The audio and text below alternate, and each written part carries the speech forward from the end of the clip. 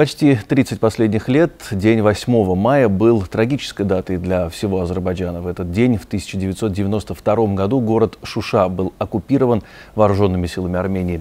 События 2020 года кардинально поменяли ход событий. Нет больше дня оккупации Шуши, есть знаменательный день возвращения жемчужины Карабаха. Продолжим эту тему с нашим гостем в студии, политологом Сагилем Искендеровым. Господин Искендеров, я приветствую вас. Здравствуйте. Взаимно приветствую. Спасибо за приглашение. А, скажите, господин Скендеров, ну, действительно, на протяжении почти 30 лет, 8 а, мая был для граждан Азербайджана, для всех наших соотечественников днем грусти. И все вспоминали о Шуше, об этой жемчужине Карабаха, о нашей культурной столице. И э, в прошлом году случилось, может быть, то, чего очень многие ждали и даже не верили, что это в обозримом будущем вообще может э, произойти. Это освобождение города Шуша от армянской оккупации. А, я бы хотел э, поговорить с вами о значении э, событий 92 года, 8 э, мая, и потом мы перейдем уже к событиям прошлого года. Весь вопрос в том, что, Олег, понимаете, в жизни, как и каждого человека, как и каждого народа, и как и у каждого народа, есть какие-то, так скажем, есть какие-то сакральные места, сакральные ценности, даже, я бы сказал, сакральные даты. Понимаете? Э, как географическое там этот э, месторасположение, географическое это значение Шуши, там, в принципе, для нас вот это, это являлся, Шуша являлась в географическом плане вот как раз той сакральной местности, э, которым, э, как бы скажем, место, э, объектом гордости mm-hmm. нашего народа испокон веков. Естественно, то, то, что случилось в 92 году, и причем именно 8 мая, ну вы понимаете, это 8 мая там э, окликается, э, перекликается какой дата 9 да, мая, да, где да, да.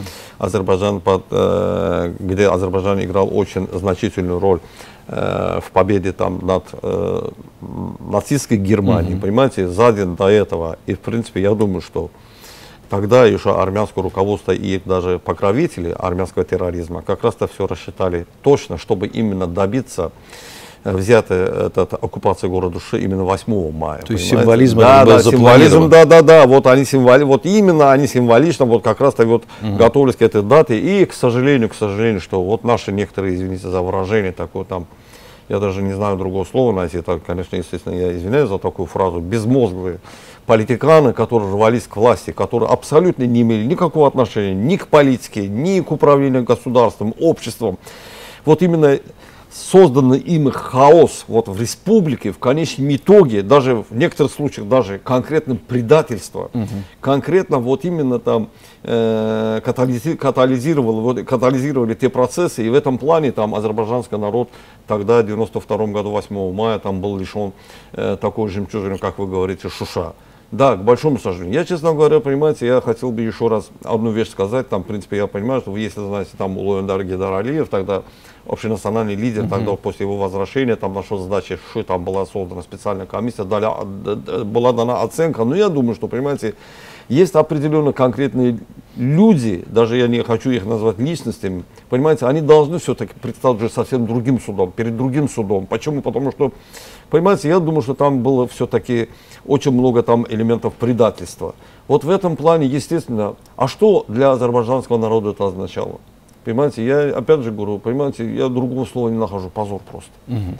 И, к сожалению, этот позор заслужил не азербайджанский народ. А вот те, я говорю, вот именно это некомпетентные товарищи, в кавычках, которые рвались тогда к власти и создавали вот этот политический хаос в республике, гражданский хаос, чуть не довели до гражданской войны в республике. Угу. Вот это их позор. И, естественно, вопрос в том, что, счастью, понимаете, уже, как бы сказать, слава Аллаху, там, или, скажем, Всевышнему, там, естественно, благодаря очень умелой и четкой политике и действий, шагов э, президента и верховного главнокомандующего Азербайджана Ильхама Алиева, в конечном итоге в прошлом году, уже в 2020 году, мы смыли этот позор. В плане даже не в истории Азербайджана, я бы сказал даже в истории региона и в истории там мира. Почему? Потому что какие бы там силы не покровительства Армении, что бы там армянские там э, захватники, там, захватники, э, э, оккупанты, что бы ни говорили, понимаете, весь вопрос в том, что они же сами все признавали, все прекрасно понимают, что Шуша это есть азербайджанская земля исконная. И причем жемчужина в плане культурного наследия Азербайджана. Mm-hmm. Понимаете, весь вопрос в том, что я даже, честно говоря, я вот считаю, что вот эти 30 лет были позорами, опять же говорю, для всего мира, для всего, всего мировой культуры, всей мировой культуры и, естественно, для региона. Понимаете, я думаю, что и в этом плане наш президент прав. Практически мы добились не только исполнения вот четырех там известных резолюций, э, э, этот, резолюций там, э, ООН, mm. и еще мы добились смывания этого позора с лица всего, всей земли, всего человечества. Почему? Потому что, понимаете, ну, что бы ни говорили, вот недавно вот э, депутаты там Российской Федерации, mm-hmm. там были у нас этот в Агдаме, я думаю, да. что они там скоро там и в Шу там они поедут, наверное, там организуют там этот поездку туда. И они на, места, на месте там все с этим, этот, э, все этим, этим вот это, всеми э, последствиями вот этого вандализма, вандализма то, что там они творили, армянские оккупанты, они э, станут очевидцами и свидетелями, живыми свидетелями этого. Я думаю, что в этом плане, понимаете, э, вообще, понимаете, как вот вы можете себе представить, да, вот, допустим, я просто хочу вот как-то параллели вести, uh-huh. да, скажем, допустим, в той же Франции, которая, к сожалению, там абсолютно не то, что не радует, абсолютно там иногда там поступает так аналогично, там, разочаровывает. Говоря, да, да, даже не знаешь, это как это, как говорится, как не к деревне, допустим, да. Вот, скажем, какие-то вандалы оккупировали, скажем, там Францию, ну где-то, и вот, допустим, там, не знаю, там какой-то абсолютно стерли с земли или не знаю, и осквернили, скажем, музей Лувра. Угу. Вот как вы думаете, кроме французов, французы это само собой, разумеется, а вот остальной мир, остальной мир, как среагировал бы на это? Я думаю, что высказал бы э, большую озабоченность. Нет, чего, чего, чего не было в отношении. Да, да, да. Нет, я территорий. о чем говорю. А вот если, допустим, вы поехали бы там, освободили бы там от оккупации вот это музей Лувр там, я понимаете, вас как стали бы благодарить, несмотря на то, что, невзирая на то, что какой вы национальности являетесь, ну, как да. представитель какого государства является. Вот понимаете, весь вопрос в том, что я поэтому говорю. Понимаете, осквернение таких сакральных мест, как Шуша, и, не знаю, там, Лувр, там, я не знаю, там, Тауэр, там, скажем, ну, культурных центров мира, культур, да. культурных центров.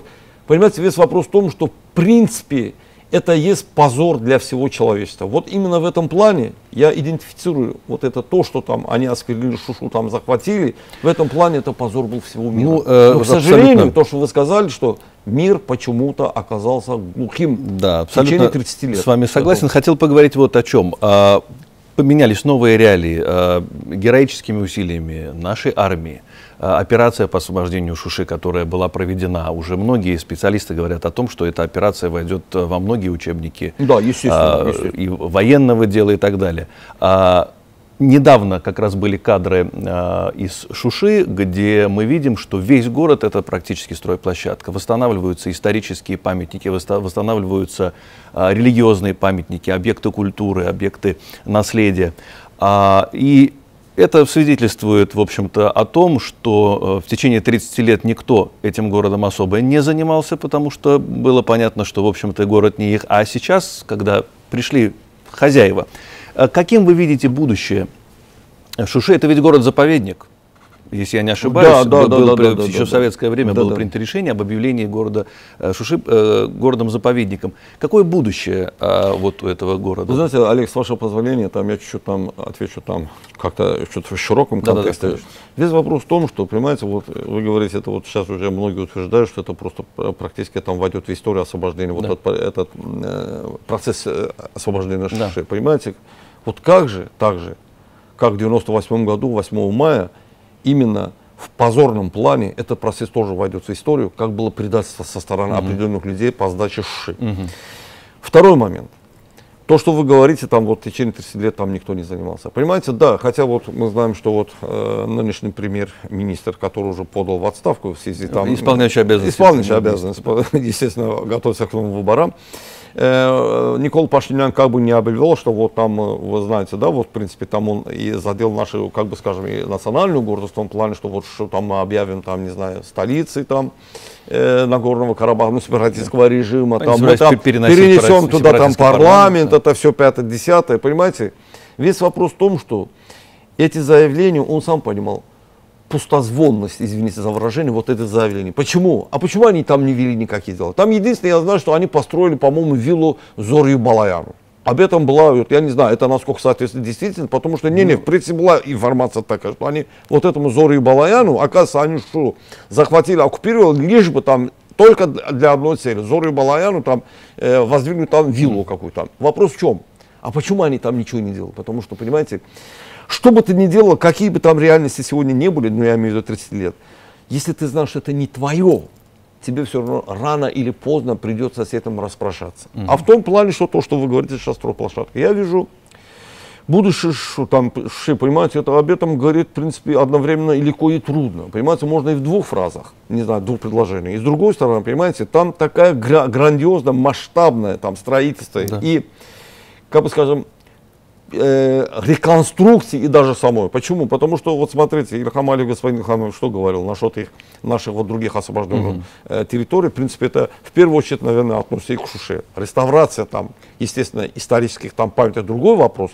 А вот то, что, вы знаете, он говорит, мы будем строить уже такие там новые там, э, скажем, деревни, новые районы. Почему? Потому что мы уже не можем строить там то, что было 30 лет тому назад или на сегодняшний mm-hmm. день уже мы будем строить на будущее. Что в этом плане, я думаю, что, в принципе, как и жемчужина, как жемчужина э, не только Карабаха, Азербайджана, региона, одна, и одна из жемчужин всего мира, я думаю, что Ша там скоро станет э, центром международного туризма. Я да. думаю, что в принципе, как в советское время, мы знаем, что США отличился, отличался в этом, в этом плане в лучшую сторону, положительную mm-hmm. сторону. И вы представьте себе, если Сейчас мы уже будем обустраивать шушу, там уже, шушу там уже конкретно э, в рамках требований современного мира и даже будущего, и даже, и даже будущего мира, будущего мира. Я представляю там, что уже будет в принципе. Я думаю, что в принципе насчет этого,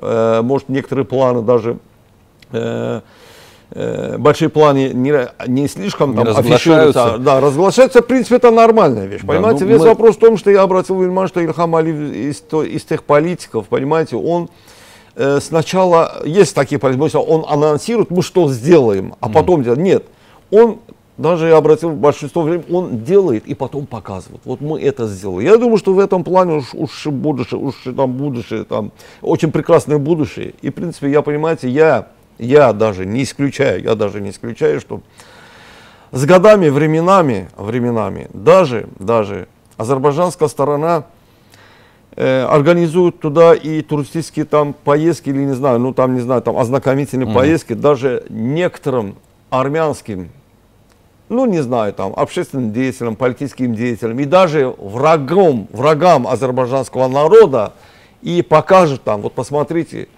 во что, что творили вы с Шишой, творили в течение 30 лет. Да. А посмотрите, допустим, в течение 3-5 лет мы что тут построили. Понимаете, в этом плане я думаю, что уже большое там будущее. Ну, определенно уже очень большое не, будущее. Не, К сожалению, у нас, э, я благодарю вас за ваш комментарий. Пожалуйста, не а, С удовольствием мы продолжим с вами беседу, и мы обязательно это сделаем. Я напомню нашим телезрителям, что а, у нас в студии был наш гость, политолог Саиль Искендеров. Мы обсуждали с ним город Шушу.